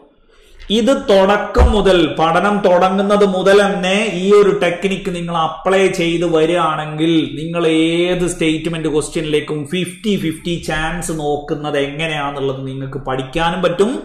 നിങ്ങൾക്ക് ടൈമും കിട്ടും. ഇനി എത്ര ടൈറ്റ് ആയാലും നിങ്ങൾക്ക് ഈ ടെക്നിക്ക് കിട്ടിക്കഴിഞ്ഞാൽ നിങ്ങൾ രണ്ടാമത്തെ സ്റ്റേറ്റ്മെന്റ് വായിക്കുന്നു. രണ്ട് എനിക്ക് അറിഞ്ഞുകൂടാ ഞാൻ കേട്ടിട്ടില്ല. മൂന്നും എനിക്ക് അറിഞ്ഞുകൂടാ ഞാൻ കേട്ടിട്ടില്ല. നാലാമത്തെ സ്റ്റേറ്റ്മെന്റ് ശരിയാണ് എന്ന് നിങ്ങൾ നോക്കിയപ്പോൾ നിങ്ങൾക്ക് കിട്ടിയെങ്കിൽ ഈ രണ്ടേ രണ്ട് ഓപ്ഷനിൽ നാലുള്ളത് ഏതാണോ അത് കറുപ്പിച്ചാൽ നിങ്ങൾ അവിടെ ഉത്തരത്തിലെത്തി. ഫലത്തിൽ നിങ്ങൾക്ക് രണ്ടാമത്തെ സ്റ്റേറ്റ്മെന്റും അറിഞ്ഞുകൂടാ മൂന്നാമത്തെ സ്റ്റേറ്റ്മെന്റും അറിഞ്ഞുകൂടാ. മനസ്സിലായല്ലോ? ഈ ടെക്നിക്കിൽ വർക്കൗട്ട് ചെയ്ത് വർക്കൗട്ട് ചെയ്ത് ഫിഫ്റ്റി ഫിഫ്റ്റി അതായത് ചോദ്യം വായിച്ച് അമ്പത് ശതമാനം ഉത്തരത്തിലേക്കും ഓപ്ഷൻസ് വായിച്ച് അമ്പത് ശതമാനം ഉത്തരത്തിലേക്കും എത്തുന്ന രീതി കൂടി എന്ത് ചെയ്യണം? വർക്കൗട്ട് ചെയ്ത് വർക്കൗട്ട് ചെയ്ത് നമ്മുടെ ഒരു സ്ട്രാറ്റജിയുടെ ഭാഗമാക്കി മാറ്റണം. ഇല്ലാന്നുണ്ടെങ്കിൽ നിങ്ങൾ പലപ്പോഴും എന്ത് ചെയ്യും? സോ അനാലിസിസിനൊക്കെ ചെയ്യുന്ന സമയത്താണ് എന്ത് ചെയ്യുന്നത്? അങ്ങനെ നോക്കിയാൽ മതിയായിരുന്നു അല്ലേ ഞാൻ ആ നാല് സ്റ്റേറ്റ്മെന്റ് വായിച്ച് എത്ര നേരം കളഞ്ഞതാ? ആദ്യമേ അതാണ് തിരിഞ്ഞിരുന്നെങ്കിൽ ഞാനും എന്ത് ചെയ്യുമായിരുന്നു? ഉത്തരത്തിലെത്തുമായിരുന്നു എന്നുള്ള ലെവലിലേക്ക് പിന്നീട് നിങ്ങൾ പറഞ്ഞേക്കാം. അപ്പൊ അതുകൊണ്ടാണ് ഞാൻ പറയുന്നത് ഇത് ഈ ലെവലിൽ തന്നെ എന്ത് ചെയ്യണം? പ്രാക്ടീസ് ചെയ്യണം. ഞാനൊരു ക്ലാസ്സിൽ നിങ്ങൾക്ക് എന്ത് ചെയ്തു തരാം? ഇതുപോലെ വന്ന ഒരു പത്തോ പതിനഞ്ചോ ചോദ്യങ്ങൾ ഞാൻ കാണിച്ചു തരാം. അതായത് ഒന്നോ രണ്ടോ എണ്ണം അറിഞ്ഞാൽ മാത്രം മതി നമ്മൾ എവിടേക്ക് എത്തും നമ്മൾ ഉത്തരത്തിലേക്ക് എത്തുക എന്നുള്ള രീതിയിലേക്ക്. സോ അതും കൂടെ എന്ത് ചെയ്യണം? അതും കൂടെ ഒന്ന് ട്രൈ ചെയ്യണം. പിന്നെയോ ഏതൊരു ചോദ്യത്തിനും രണ്ട് അറ്റംപ്റ്റേ കൊടുക്കൂ എന്നുള്ള ലെവലിലേക്ക് ചോദ്യം ഒന്ന് വായിക്കുക. മനസ്സിലായി? നമ്മൾ എന്ത് ചെയ്യുന്നു? നേരെ ഞാൻ കേട്ടിട്ടില്ല. ഉപകാരത്തിനുമില്ല ഉപദ്രവത്തിനുമില്ല. അപ്പോൾ അവിടുന്ന് എന്നും പറഞ്ഞിട്ട് എന്ത് ചെയ്യുന്നു? നേരെ അടുത്തയിലേക്ക് പോകുന്നു. അപ്പൊ നമ്മളിവിടെ ഈ നാൽപ്പതെണ്ണം സേഫ് ആക്കി വെച്ചിട്ടില്ലേ? ആ നാൽപ്പതെണ്ണം സേഫ് ആക്കി വെച്ചത് അവിടെ ഉണ്ടാവും. ബാക്കി അറുപത് എണ്ണത്തിൽ നമ്മൾ ചിലപ്പോ നമ്മൾ രണ്ടാമത്തെ മുക്കാ മണിക്കൂർ വായനയിൽ അറുപതെണ്ണത്തിൽ നമുക്ക് ഇരുപതെണ്ണമാണ് നമ്മൾ എന്ത് ചെയ്യുന്നത്? ശ്രദ്ധയോടുകൂടെ നോക്കിയിട്ട് ഉത്തരത്തിലേക്ക് എത്തിയത്. അപ്പൊ നമ്മുടെ മാർക്ക് എത്രയായി? അറുപത് മാർക്ക് നിങ്ങൾ ഡിഗ്രി പ്രിലിംസിന്റെ എല്ലാറ്റിന്റെയും കട്ട് ഓഫുകളൊക്കെ നിങ്ങൾ നോക്കിക്കഴിഞ്ഞാൽ നിങ്ങൾക്ക് കാണാൻ പറ്റുന്നത് ഫിസിക്കൽ ഇല്ലാത്ത പരീക്ഷകളാണെങ്കിൽ അവിടെ നിങ്ങൾ കാണുന്ന മാർക്ക് എന്ന് പറയുന്നത് ഈ പറയുന്ന അമ്പത്തി മൂന്ന് അമ്പത്തിരണ്ട് നാൽപ്പത്തി ഒമ്പത് നാൽപ്പത്തി ഏഴ് നാൽപ്പത്തി എട്ട് ഇതാണ് നിങ്ങൾ കാണുന്ന ഡിഗ്രി പ്രിലിംസിന്റെ മാർക്ക് എന്ന് പറയുന്നത്. മനസ്സിലായല്ലോ? അപ്പൊ നമുക്ക് ഫലത്തിൽ എന്തേ ഉള്ളൂ? നാൽപ്പതെണ്ണേ ശരിക്കും സിമ്പിൾ ആയിട്ട് അറിയണതുള്ളൂ. പക്ഷെ നമ്മൾ വളരെ ശ്രദ്ധയോടുകൂടെ എന്ത് ചെയ്തു? ഈ പറയുന്ന ഇരുപത് മാർക്ക് നമുക്ക് ബാക്കിയുള്ളതിൽ നിന്ന് ക്യാച്ച് ചെയ്യുമ്പോൾ തന്നെ നമ്മൾ ഏത് കടന്നു? നമ്മൾ ഈ പറയുന്ന പ്രിലിംസ് ക്ലിയർ ചെയ്തു എന്നുള്ളതാണ്. ഇതേ സംഗതി നിങ്ങൾക്ക് മെയിൻസിനും. അപ്പോഴും നിങ്ങൾക്ക് പോലും അറിയാത്ത നാൽപ്പത് ചോദ്യങ്ങൾ നിങ്ങൾ എന്ത് ചെയ്തിട്ടുണ്ടാവും? നിങ്ങൾ അവിടെ സ്കിപ്പ് ചെയ്തിട്ടുണ്ടാവും. സ്കിപ്പ് ചെയ്യാനുള്ള ഒരു മെന്റാലിറ്റി കൂടെ നമ്മൾ തുടക്കം മുതലേ എന്ത് ചെയ്യണം? ഉണ്ടാക്കണം. അല്ലാതെ എല്ലാം കയറി അറ്റൻഡ് ചെയ്തവരല്ല എന്ത് ചെയ്യുന്നത്? ഈ പറയുന്ന മാർക്ക് സ്കോർ ചെയ്യുന്നത് എന്നുള്ളത്. സോ ഇത്രയും കാര്യങ്ങളൊന്ന് മനസ്സിലായോ? ഞാൻ ഇന്ന് ഗ്രൂപ്പിലേക്ക് എന്ത് ചെയ്യും? ഡിഗ്രി ലെവലിന്റെ ക്വസ്റ്റ്യൻ പേപ്പർ ഒന്ന് ഇട്ട് തരാം. നിങ്ങൾ എന്ത് ചെയ്യും? ജസ്റ്റ് ഒന്ന് പരിചയപ്പെട്. പരിചയപ്പെടുമ്പോൾ എന്ത് ചെയ്യരുത്? ഞാൻ നേരത്തെ പറഞ്ഞ പോലെ എന്ത് ചെയ്യരുത്? തുടക്കക്കാരായിട്ടുള്ള ആളുകളുണ്ട്. തുടക്കക്കാരായിട്ടുള്ള ആളുകൾക്ക് തുടക്കത്തിലെ ഇത് എങ്ങനെയാണെന്ന് സ്വയം പരിചയപ്പെടാൻ വേണ്ടിയിട്ടാണ് എന്ത് ചെയ്യുന്നത്? ഇത് പറഞ്ഞു തരുന്നത്. കാരണം തുടക്കത്തിലെ ഐഡിയ എങ്ങനെയാണ് എന്ന് മനസ്സിലായി കഴിഞ്ഞാൽ നമുക്ക് എളുപ്പമാണ്. കാരണം എന്ന് വെച്ച് കഴിഞ്ഞാൽ നമ്മൾ എവിടെയെങ്കിലും ഞാൻ തുടക്കക്കാരനാണ്. എനിക്ക് കുറച്ചും കൂടെ എളുപ്പത്തിൽ തുടങ്ങുന്ന ഏതെങ്കിലും ഒരു രീതി പറഞ്ഞു തരുന്നതല്ലേ നല്ലത് എന്നുള്ള ലെവലിലേക്കൊക്കെ പറഞ്ഞ് തുടക്കക്കാരൻ എളുപ്പത്തിലുള്ള രീതിയൊക്കെ വന്ന് ഇങ്ങനെ വരുമ്പോഴത്തേക്ക് നവംബറിൽ വിളിച്ച് മാർച്ച് ആകുമ്പോഴത്തേക്ക് പ്രിലിംസും കഴിഞ്ഞ് മെയിൻസും കടന്നു പോകും. നമുക്കായിട്ട് നമ്മൾ തുടക്കക്കാരനോ നമ്മൾ ഒടുക്കക്കാരനോ നമ്മൾ പരാജയപ്പെട്ടവനോ നമ്മൾ വിജയിച്ചവനോ. പി എസ് സിക്ക് ഇതൊന്നും വിഷയമല്ല. ആവശ്യം ആരുടെയാ? ആവശ്യം നമ്മുടേതാണെന്നുള്ളത് കൊണ്ട് നമ്മൾ എന്നെ അടിച്ചു കയറിക്കോണം അതിൽ എത്ര എക്സ്പീരിയൻസ് ഉള്ളവനും എന്ത് ചെയ്യും? നമ്മുടെ ആ ഒരു വരവിൽ ചിലപ്പോൾ എന്ത് ചെയ്യും? തകർന്നടിയും എന്നുള്ളതാണ്. സോ നമ്മളാണ് തീരുമാനിക്കേണ്ടത്. എത്രത്തോളം ഇടിച്ച് ഞാൻ ഈ കോമ്പറ്റീഷനിലേക്ക് കയറണം എന്നുള്ളത്. കാരണം നമ്മൾ അവിടെ തുടക്കക്കാരനാണ് അല്ലെങ്കിൽ നമ്മൾ ഈ ഒരു ലെവലിലാണ് എന്ന് പറഞ്ഞ് ഇരുന്ന് കഴിഞ്ഞാൽ ഒരു ഇരുത്തം തന്നെ ഉണ്ടാവുള്ളൂ. അപ്പൊ ഏറ്റവും നല്ലത് എന്താണ്? എക്സ്ട്രാ റീഡിംഗ് ആണ് ഏറ്റവും കൂടുതൽ വേണ്ടത്. അതിന് നിങ്ങൾക്ക് സി ബി എസ് ഇ പുസ്തകങ്ങൾ എൻ സി ആർ ടി പുസ്തകങ്ങൾ എസ് സി ആർ ടി പുസ്തകങ്ങൾ ഞാൻ ഈ പറഞ്ഞ പുസ്തകങ്ങളൊക്കെ നിങ്ങൾക്ക് എന്ത് ചെയ്യാം? ചൂസ് ചെയ്യാം. ഇനി അതാത് സബ്ജക്റ്റുകൾക്ക് ഇപ്പോൾ പൊളിറ്റി ആണെങ്കിൽ നമുക്ക് ലക്ഷ്മികാന്തിന്റെ ഇന്ത്യൻ പൊളിറ്റിയാണ് എന്ത് ചെയ്യുന്നത്? യൂസ് ചെയ്യുന്നത്. ബാക്കി ഈ പറയുന്ന സയൻസും കാര്യങ്ങളൊക്കെ ആണെങ്കിൽ നമുക്ക് സയൻസ് ആൻഡ് ടെക്നോളജിയാണ് അവിടെ കൂടുതലും എന്താ വരുന്നത്? കറണ്ട് അഫയേഴ്സ് ആണ് എന്ത് ചെയ്യുന്നത്? കൂടുതലും വരുന്നത് രണ്ടായിരത്തി ഇരുപത്തി രണ്ട് ജൂൺ മുതൽ ഇങ്ങോട്ടേക്കുള്ള കറണ്ട് അഫേഴ്സ് ഒക്കെ നമ്മൾ എന്ത് ചെയ്യേണ്ടി വരും? സയൻസ് ആൻഡ് ടെക്നോളജിയിൽ നമ്മൾ നോക്കേണ്ടി വരും. പിന്നെയോ ഒരു റാങ്ക് ഫയലിനുള്ളിൽ ഒതുങ്ങി പഠിക്കേണ്ട ഒരു പരീക്ഷയല്ല ഏത് ഡിഗ്രി ലെവൽ എന്ന് പറയുന്നത്. അത് ഇതുവരെ നോക്കിയവർക്കൊക്കെ അറിയാൻ പറ്റും. ഒരൊറ്റ റാങ്ക് ഫയലിന്റെ ഉള്ളിൽ ഒതുങ്ങുന്ന ഒരു പരീക്ഷയല്ല. കാരണം നിങ്ങൾക്ക് ഞാൻ ബാക്കി വഴിയെ പറഞ്ഞു തരാം. ഇന്ന് ആയിക്കഴിഞ്ഞാൽ ഇപ്പൊ കുറെ ആൾക്കാർ പറയണ്ടാവും ഇന്നത്തേക്ക് നല്ല കുറച്ച് ആഴ്ചത്തേക്കുള്ള എന്നെ പായിട്ടുണ്ട്. ഇനി കൂടുതലൊന്നും പറഞ്ഞ് ഞങ്ങളെ തളർത്തരുത് എന്നൊക്കെ പറയുന്ന ആളുകളും ഉണ്ടാവും. സോ ബാക്കി നമുക്ക് ഓരോ ക്ലാസ്സിൽ എന്ത് ചെയ്യാൻ പറ്റും? ഏതൊക്കെ ഡിസ്റ്റൻസിന്റെ പുസ്തകങ്ങളാണ് എന്ത് ചെയ്യുന്നത് യൂസ് ചെയ്യുന്നത്? അതിന്റെയൊക്കെ കണ്ടൻസും കാര്യങ്ങളൊക്കെ നമ്മൾ എന്ത് ചെയ്യും? യൂസ് ചെയ്യും. പക്ഷെ ഞാൻ പറഞ്ഞല്ലോ നമ്മുടെ ആഗ്രഹമാണ് നമ്മളെ എന്ത് ചെയ്യുന്നത്? എത്ര വലിയ പ്രതിസന്ധിയും മറികടക്കാൻ വേണ്ടിയിട്ട് എന്ത് ചെയ്യുന്നത്? നമ്മളെ പ്രേരിപ്പിക്കുന്നത് എന്നുള്ളത്. കാരണം നമുക്ക് പുറകോട്ടടിക്കാൻ നമുക്ക് ന്യായീകരിക്കാൻ ഇഷ്ടം പോലെ കാരണങ്ങളുണ്ടാവും. നമുക്കില്ലാത്ത സങ്കടങ്ങളില്ല നമുക്കില്ലാത്ത പ്രതിസന്ധികളില്ല ഒക്കെ ഉണ്ടാവും. പക്ഷേ ആ പ്രതിസന്ധിയും സങ്കടങ്ങളും വെച്ചിരുന്നു കഴിഞ്ഞാൽ കാലാകാലം നമ്മുടെ കൂട്ടിന് എന്തെന്നെ ഉണ്ടാവുള്ളൂ? നമ്മുടെ പ്രതിസന്ധി കാര്യങ്ങളും തന്നെ ഉണ്ടാവുള്ളൂ. ഞാൻ ഡിഗ്രിക്ക് പഠിക്കുന്ന സമയത്ത് ഫസ്റ്റ് ഇയർ ആവുമ്പോഴാണ് എന്ത് ചെയ്യുന്നത്? ഓഗസ്റ്റ് അഞ്ചാം തീയതി ഉമ്മ മരിക്കുന്നത്. അങ്ങനെ ഓഗസ്റ്റ് ഏഴാം തീയതിയാണ് എനിക്ക് എന്ത് ചെയ്യുന്നത്? ഞാൻ അത്രയും കാലം വർക്കൗട്ട് ചെയ്തൊരു കോമ്പറ്റീഷൻ എന്ത് ചെയ്യുന്നത്? നടക്കുന്നത്. അപ്പോൾ എന്റെ അടുത്ത് വീട്ടുകാർ ചോദിച്ചത് ഈ അഞ്ചിന് ഉമ്മ മരിച്ച് ജസ്റ്റ് രണ്ട് ദിവസം ആവുന്നേ ഉള്ളൂ. അപ്പോൾ ആ സമയത്ത് അതിന് പോകണോ എന്ന് ചോദിച്ചു. ഞാൻ പറഞ്ഞു എനിക്ക് പോകണം കാരണം എന്ന് വെച്ച് കഴിഞ്ഞാൽ നമ്മൾ ഈ പറഞ്ഞ സങ്കടമായിട്ട് അവിടെ ഇരുന്ന് കഴിഞ്ഞാൽ നമ്മൾ ഇത്രയും കാലം വർക്കൗട്ട് ചെയ്ത് വന്ന ഈ ഒരു കോമ്പറ്റീഷൻ ഉണ്ട്. ആ കോമ്പറ്റീഷന്റെ രണ്ടേ രണ്ട് ദിവസം മുന്നേ വെച്ച് നമുക്ക് സങ്കടം ഉണ്ടാവാം കാര്യങ്ങളൊക്കെ ശരി തന്നെ. പക്ഷെ ഈ കോമ്പറ്റീഷനിൽ നമ്മൾ നേടേണ്ട അച്ചീവ്മെന്റ് എന്ന് പറയുന്നത് പങ്കെടുത്തില്ല എന്നുണ്ടെങ്കിൽ സീറോയാണ് ആ സീറോ പോകാതെ തന്നെ നമുക്ക് ഉറപ്പാണ് പിന്നെ നമ്മൾ ഇത്രയും കാലം നമ്മൾ എടുത്ത എഫേർട്ട് കാര്യങ്ങൾ എന്ന് പറയുന്നത്. പിന്നെ ആ കോമ്പറ്റീഷനിൽ പങ്കെടുത്താണ് എന്ത് ചെയ്യുന്നത്? പിന്നെ സ്റ്റേറ്റ് ലെവലിലേക്ക് എന്ത് ചെയ്യുന്നത്? പോകുന്നത്. നേരെ മറിച്ച് ഞാൻ അവിടെ വീട്ടിൽ തന്നെ ഇരിക്കുകയാണെന്നുണ്ടെങ്കിൽ ആ സങ്കടവും ആ പ്രതിസന്ധിയും കാര്യങ്ങളും ആലോചിച്ച് ഞാൻ അവിടെ അങ്ങനെ ഇരിക്കുന്നുണ്ടാവും. ഈ പറയുന്ന അച്ചീവ്മെന്റും കാര്യങ്ങളും എന്ത് ചെയ്യൂല? തൊട്ടടുത്തൊരു ലെവലിലേക്ക് ഞാൻ ഉണ്ടാവില്ല. പിന്നെ ഞാൻ എന്തെന്നെ പരാതി പറഞ്ഞിട്ടും അവിടെ കാര്യമില്ല. സോ നമ്മുടെ പ്രതിസന്ധികൾ നമ്മുടെ പരാതികൾ എന്ന് പറയുന്നത് എന്നും നമ്മുടെ കൂടെ തന്നെ ഉണ്ടാവും. അതൊന്നും വേറെ എവിടേക്കും എന്ത് ചെയ്യൂല? പോവില്ല പക്ഷേ കിട്ടാനുള്ള ജോലി കിട്ടാനുള്ള സുഖമുള്ള ഇടം ഇതൊക്കെ നമ്മൾ തേടി പിടിച്ച് അങ്ങോട്ടേക്ക് നമ്മൾ കയറി അടിച്ച് എത്തിയില്ല എന്നുണ്ടെങ്കിൽ ബാക്കിയുള്ളതൊക്കെ നമുക്ക് ആൾറെഡി നമുക്ക് അറിയാവുന്നതല്ലേ? ഇതൊക്കെ ഉള്ളതാണ് എന്നുള്ളത്. സോ അതുകൊണ്ടാണ് ഞാൻ പറയുന്നത് നിങ്ങൾ തുടക്കക്കാരനായിക്കോട്ടെ നിങ്ങൾ വേറെ പി എസ് സി എഴുതിയിട്ട് പരാജയപ്പെട്ട ആളായിക്കോട്ടെ. പക്ഷേ അടിച്ചു കയറാനുള്ള ഒരു ദിവസം എന്ന് പറയുന്നത് നമ്മൾ ഒരുങ്ങി അങ്ങ് ഇറങ്ങിക്കഴിഞ്ഞാൽ നമ്മൾ ഇഷ്ടപ്പെട്ട് പഠിച്ചു തുടങ്ങും. ഏത് മെറ്റീരിയലും നമുക്ക് നമ്മുടേതാക്കിയിട്ട് നമ്മൾ മാറ്റും. അതിന് നമ്മൾ എഫേർട്ട് ഇടുക എന്നുള്ളതാണ് നമ്മൾ എന്ത് ചെയ്യുന്നത്? നമുക്കവിടെ ചെയ്യാനുള്ളത്. പിന്നെയോ പുതുതായിട്ട് വന്ന് ജോയിൻ ചെയ്ത ആളുകൾക്കൊക്കെ ആപ്പ് പരിചയപ്പെടാനുള്ള ഒരു സമയം എന്ന് പറയുന്നത് നമ്മൾ മോളിൽ ആ ഷെഡ്യൂൾസിന്റെ കൂട്ടത്തിൽ സെക്രട്ടേറിയറ്റ് എന്ന് ക്ലിക്ക് ചെയ്ത് കഴിഞ്ഞാൽ നിങ്ങൾക്ക് ലൈവ് ക്ലാസ് ഉള്ളത് ഏതൊക്കെയാണ് എന്നുള്ളത് അവിടെ എന്ത് ചെയ്യാൻ പറ്റും? ടുഡേയ്സ് ലൈവ് ക്ലാസ്സസ് എന്നും ഓൾ ക്ലാസ്സസ് എന്നുള്ളത് വേറെ വേറെ തന്നെ എന്ത് ചെയ്യാൻ പറ്റും നമുക്ക് അവിടെ കാണിക്കും. സോ ടെലഗ്രാമിലും എന്ത് ചെയ്യും? ടൈം ടേബിൾ അപ്ഡേറ്റ് ചെയ്യും. അപ്പൊ ടെലഗ്രാമിൽ എന്ത് ചെയ്തോളുക? അനൗൺസ്മെന്റ്സിൽ പോയിട്ട് ജോയിൻ ചെയ്തോളുക എന്നുള്ളത്. കേട്ടോ? അപ്പോൾ മാക്സിമം ക്ലാസ്സുകൾ എന്ത് ചെയ്യുക? അതാത് ദിവസം തന്നെ ഒപ്പം കൂടെ പണിയെടുത്ത് അവനവന്റെ സ്ട്രാറ്റജി നിങ്ങളുടെ ജീവിതം ഇന്നേ വരെ വേറെ ഒരാൾ ജീവിച്ചിട്ടില്ല. അതുകൊണ്ട് നിങ്ങൾ ഓരോരുത്തരും യുണീക്കാണ് യുണീക്കായിട്ട് സിറ്റുവേഷൻ ക്രിയേറ്റ് ചെയ്തെടുത്തോ പഠനവും ക്രിയേറ്റ് ചെയ്തെടുത്തോ അവനവന്റെ സ്ട്രാറ്റജിയും ക്രിയേറ്റ് ചെയ്തെടുത്തോ എന്തായാലും ഫലം ഉണ്ടാവും എന്നുള്ളതാണ്. ഇന്ന് നമുക്കൊക്കെ ഏറെ സങ്കടമുള്ളൊരു കാര്യം എന്ന് പറയുന്നത് ഞാൻ ഇങ്ങോട്ടേക്ക് കയറുന്നതിന്റെ തൊട്ട് മുന്നെയാണ് എന്ത് ചെയ്യുന്നത്. നമ്മളെ എൽ പി യു പി ബാച്ചിലുള്ളൊരു കുട്ടി ഐശ്വര്യ എന്ന് പറയുന്നൊരു കുട്ടി ഇന്ന് ചെന്നൈയിൽ വെച്ചിട്ട് എന്ത് ചെയ്തു?